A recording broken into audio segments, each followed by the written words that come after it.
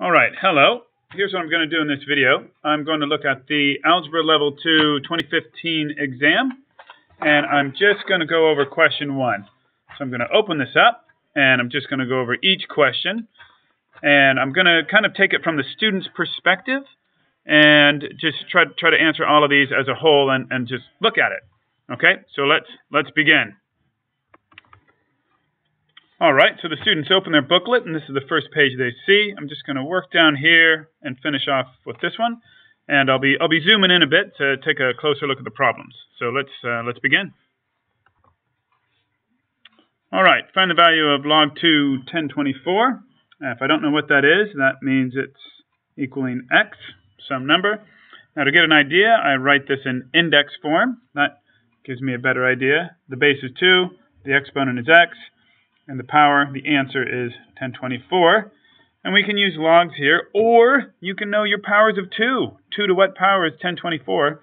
2, 4, 8, 16, 32, 64, 128, 256, 512, 1024. So x is, x is equal to 10 if you know your powers of 2 by heart, which we all should.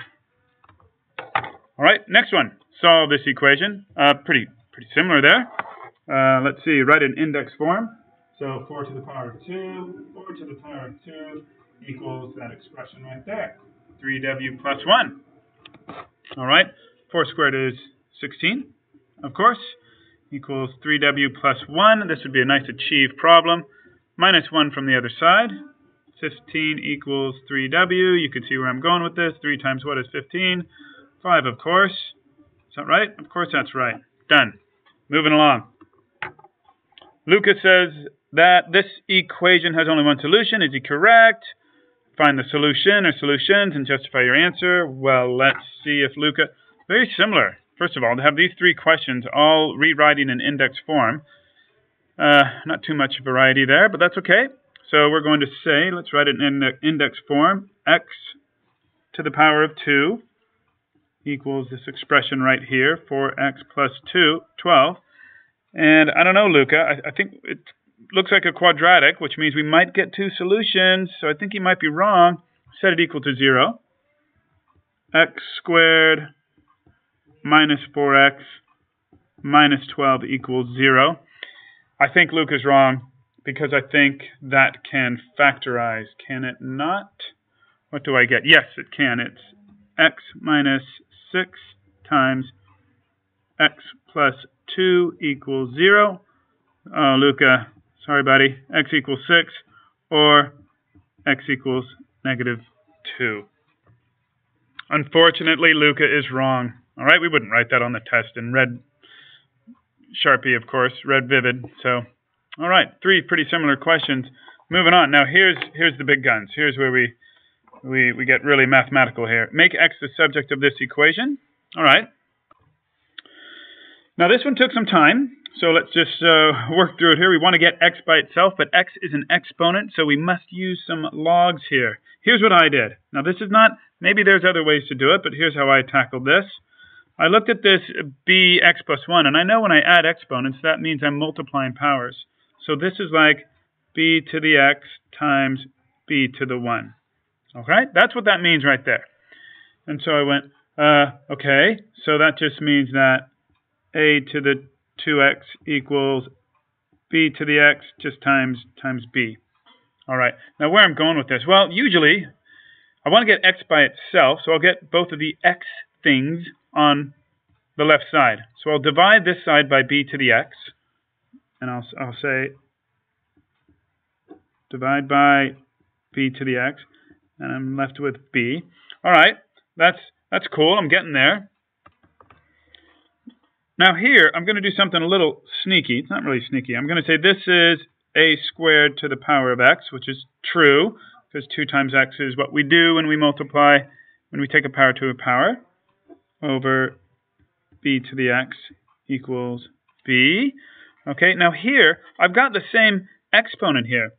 And what, what this is equal to, this is, a, this is just an exponent rule. This is a power rule. This is equal to a squared over b all to the power of x. All right, so that's the big step right there. Now I do logs. Now I take the log of both sides. Okay, I say, all right. Uh, whoops, let me get this. Log a squared over b x equals log b.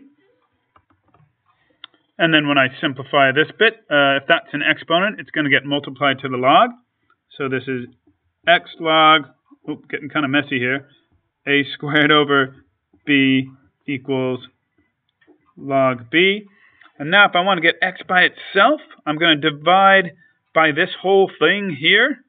So I say, okay, oh, I'm almost there. x equals log b divided by log a squared over b. Okay, now that looks pretty good. It looks like it's by itself, but there's one little log rule hiding here, and that's when I'm have a division thing going on here. That's when I subtract the logs, and it has to do with uh, power rules and exponents. So my final answer is going to be x equals log b over log a squared minus log b. Wow, that was a good one. Okay, take that in. That's a beauty. Next one. All right, the last two problems of question one. We've got the market value of Sue's house has been increasing at a constant exponential rate of 3% per annum per year since she bought it 16 years ago at the start of 1999, and now it's gone up to 350,000 assuming the exponential growth is of this form, which should look somewhat familiar, kind of like compound interest formula, what was the value of the house at the start of 1999 when she bought it? So they're asking for the original amount at 1999. Now, when we have this formula, this represents the original amount, like the principal, and this is the current amount or the new amount um, over here. So I'm just going to set up this equation. The, the current amount is 350,000. All right. The original amount, I don't know what that is. The rate is 3% per annum, and it goes up each year. So what we need to remember is we don't put this this amount we put in right here is 1.03 because that's a 3% increase. A 3% increase is 1.03. And how many years? I think it says 16. Or I could have just, yeah, looked at the time span. 16. Okay. Now this is where we could make mistakes on calculators. Don't round here. Do not round when you take this to the power of 16. In fact, what I do is I, I'll just divide the new amount by that this whole chunk over here. So I'll say 1.03 to the power of 16. Okay and that that gives me my my amount there. Okay, and yeah, we do have to be careful with calculator work here. And I got 218,108 and 49 cents, which I'll probably just leave off there. Okay, I'll just say. We, we usually don't, when we purchase a home, don't include the cents, just the dollar amount. There we go. All right. Uh, what about this one? So this this is good because we're going to be using this for this problem here. All right. A friend also bought a house at the start of 1999 that cost 200,000. Its market value also has been steadily increasing at a slightly higher exponential rate. Okay, let's just say if it's a 3.5% increase, that means 1.035. Oh, they put it right there. Okay, hello. Uh, its value, and they give us the formula. All right, that's that's great. Now, if these two houses, this house and this house, continue to keep increasing in value at the original rates, in which year will the two houses be worth the same amount?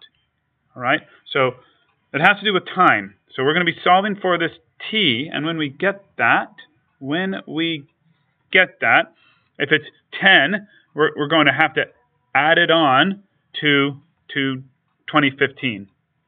Okay? Is that right? Let me check that.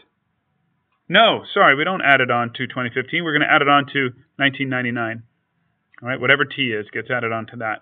and that tells us when the two houses will be the same price.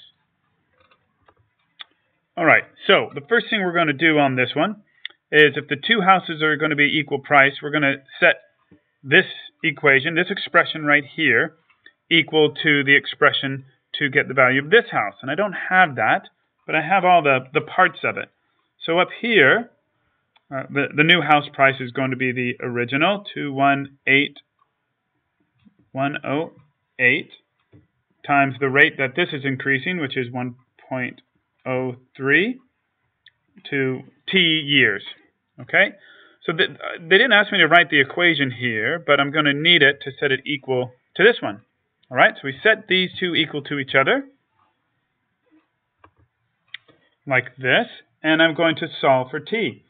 And as you can tell, it's, a, it's going to be a using logarithms, and I've got the exponent on both sides of the equation. So first step, what I'm going to do is I'm going to, it doesn't matter which side I divide by these coefficients here, but I'm going to divide this 218,000 by 200,000, and I'll just get 1.035 to the power of t equals this amount divided by this amount gives me 1.09054 times 1.03 to the power of t.